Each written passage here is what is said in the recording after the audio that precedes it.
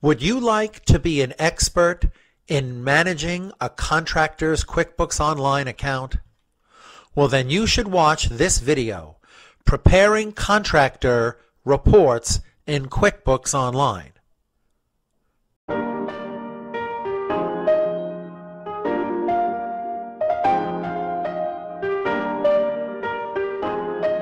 If you have any questions about this topic, you can leave them in the comments section below and I'll do my best to help you. And of course, if you feel the video helped you, I hope you will click like and don't forget to subscribe to get updates on new videos that come out all the time.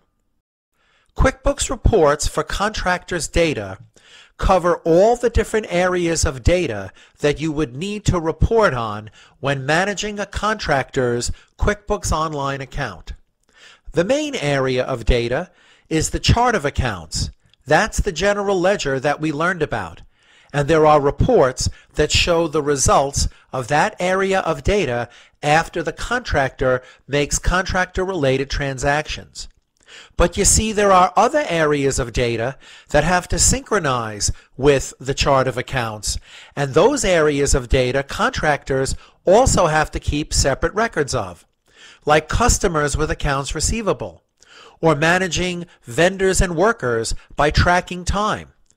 So time and vendors would have a separate set of reports to manage that area of data, just like customers and accounts receivables will have different reports to show the results of that area of data as well.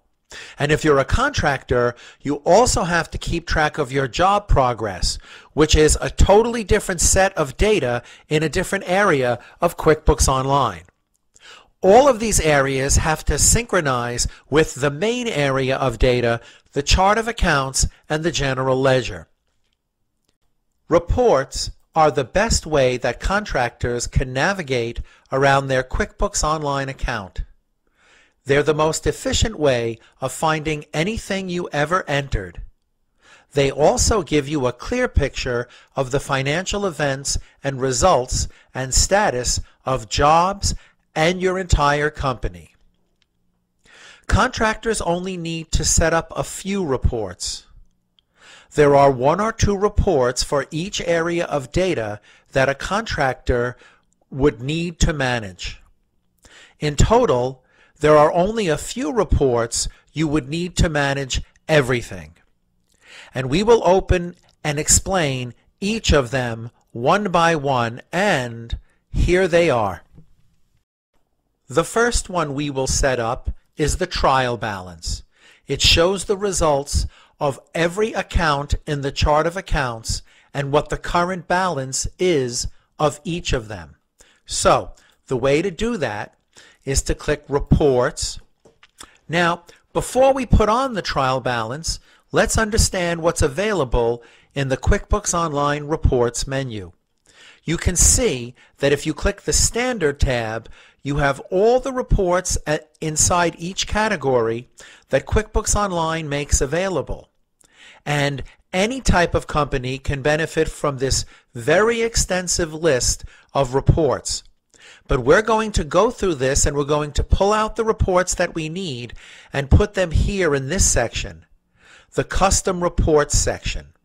By putting them here, all we will have to do is click Reports, Custom Reports, and we will go directly to those seven reports that are the only reports that a contractor would need. So we start in the Standard tab, and we're instructed to open the trial balance and save it in the Custom Reports section. Well, that's very simple.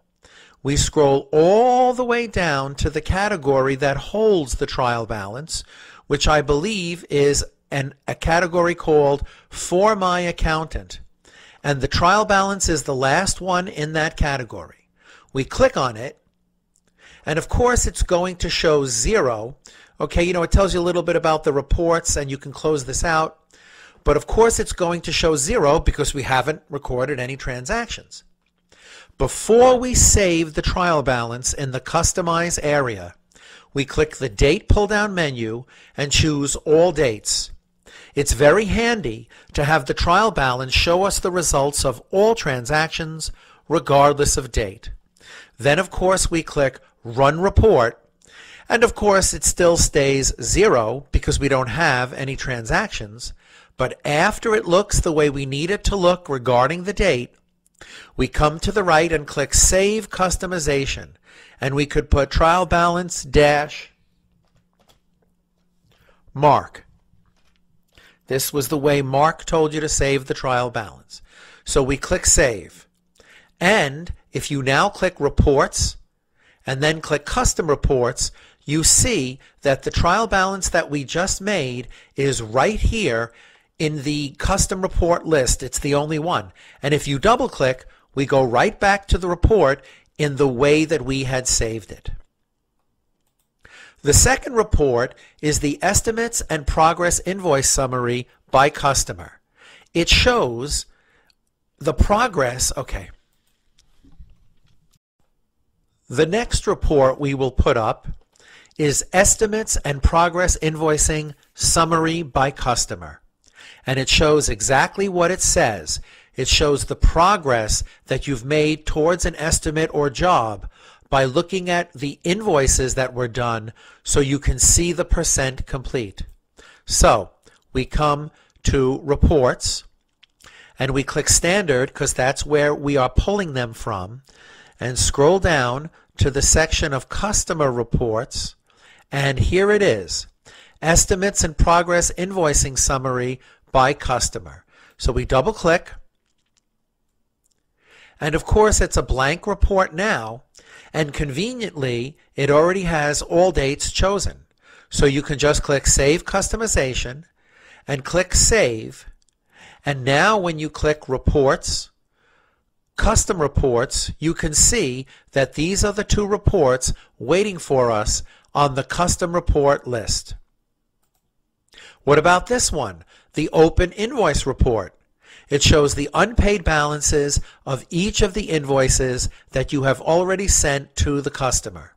So we click Reports, Standard, slowly scroll down to the section of Who Owes You, and find the Open Invoice Report.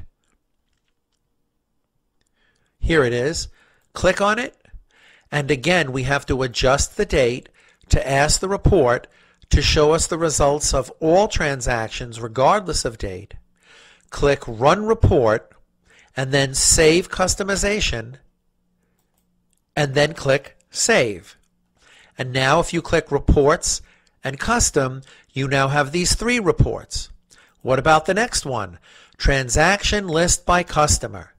This is a report that'll show all the activity between you and any client, and it's sorted by clients. So if you need to check anything, you can just go by date and look at the list of transactions for that client.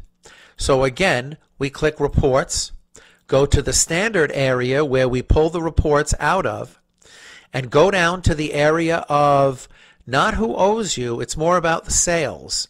Uh, and the yes, transact in the category of sales and customers, this is called transaction list by customer and we could always choose all dates, run report, save customization, and then click save. And now we can check to see reports, custom reports. Good, four down, three to go. What about profit and loss by customer? This report will tell us how much money you made and spent and kept on each job or project. It's a very nice report, so we click Reports, go to the Standard area, and that will be right here in the category of Business Overview, Profit and Loss by Customer. Again, we adjust to ask QuickBooks to show us the results of all transactions, regardless of date. Click Save Customization, and then, of course, if you click Reports, Custom, you double check that oh it didn't it uh, it didn't uh, didn't take. Let's try it again. I guess I missed something. Uh, profit and loss by customer. Choose all. Run report and give it a moment to show the results of all dates. Then click Save Customization and Save. Now it's okay. What's the next one? uninvoiced charges. These are checks, expenses, and credit card charges that were recorded but not yet billed to the customer or job. And again, we click Reports. In the standard area, we scroll down to the area of, okay, it's really, I think it's uh, what you owe, and then you go expenses and vendors, and I think it's, uh, okay, we'll find it. Here it is. Oh, actually, it's in the who owes you area, uninvoiced charges. It already shows the results of all dates and click Save Customization and Save. And the last one that a contractor needs to customize so she or he can get to it easily is uninvoiced time. And it's the same idea as the previous one, the uninvoiced charges, but it's the time that you recorded that you have not yet put on an invoice to bill the customer for. So again, reports, and it's right over here in the who owes you area, uninvoiced time. Click on it. It already shows the results of all dates. Click Save Customization and then click Save. Now when we click Reports, Custom Reports, we have all seven reports and these reports right at the beginning are going to make it very easy for us to find everything we ever entered, see the results of what's going on, and get an overview of each of the different areas of data. Congratulations, you're all set up, and in our next video, you will be ready for our very first job.